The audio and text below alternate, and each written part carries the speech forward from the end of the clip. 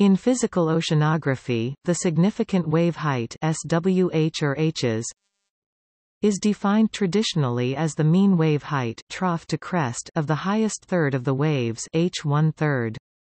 Nowadays it is usually defined as four times the standard deviation of the surface elevation, or equivalently as four times the square root of the zeroth order moment area of the wave spectrum.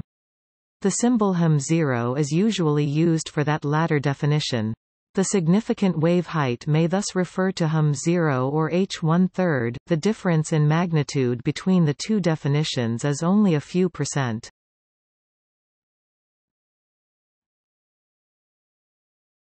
Topic: Origin and definition.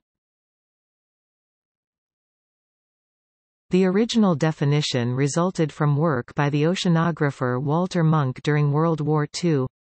The significant wave height was intended to mathematically express the height estimated by a trained observer. It is commonly used as a measure of the height of ocean waves.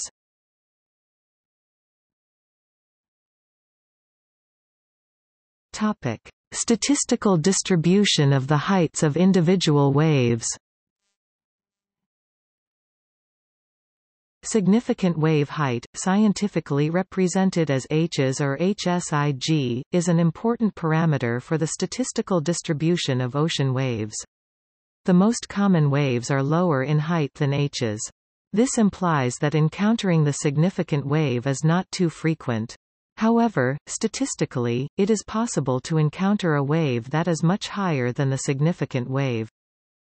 Generally, the statistical distribution of the individual wave heights is well approximated by a Rayleigh distribution.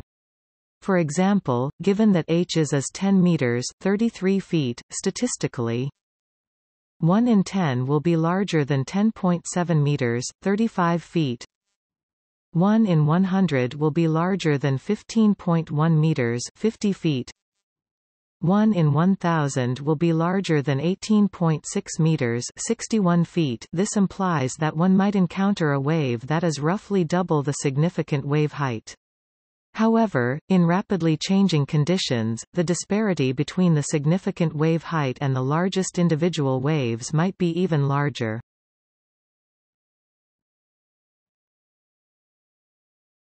Topic: Other statistics Other statistical measures of the wave height are also widely used. The RMS wave height, which is defined as square root of the average of the squares of all wave heights, is approximately equal to h's divided by 1.4.for example, according to the Irish Marine Institute. At midnight on 12 September 2007 a record significant wave height was recorded of 17.2 meters at with a period of 14 seconds.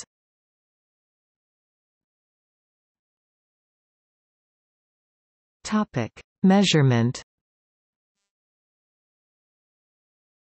Although most measuring devices estimate the significant wave height from a wave spectrum, satellite radar altimeters are unique in measuring directly the significant wave height thanks to the different time of return from wave crests and troughs within the area illuminated by the radar.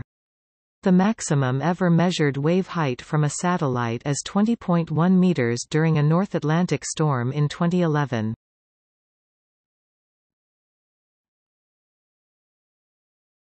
Topic: Weather forecasts.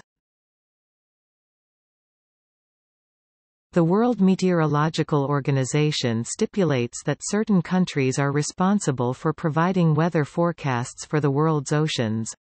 These respective countries' meteorological offices are called Regional Specialized Meteorological Centers, or RSMCs. In their weather products, they give ocean wave height forecasts in significant wave height. In the United States, NOAA's National Weather Service is the RSMC for a portion of the North Atlantic, and a portion of the North Pacific.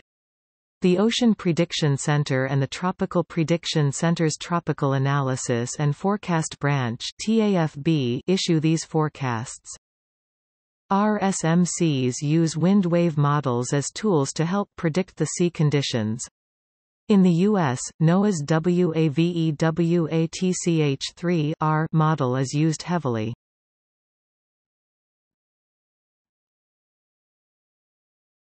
Topic.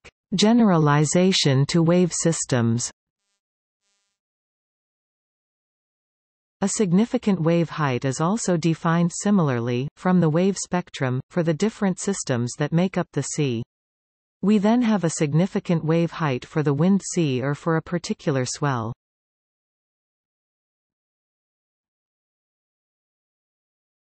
Topic.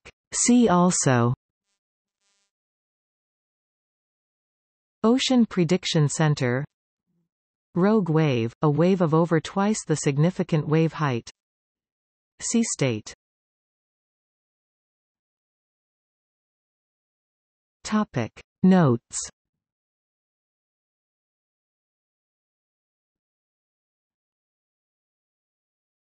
Topic.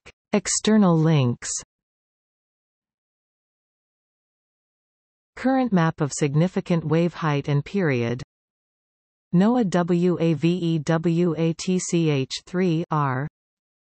NWS Environmental Modeling Center EnviroTech solid-state payload for directional waves measurement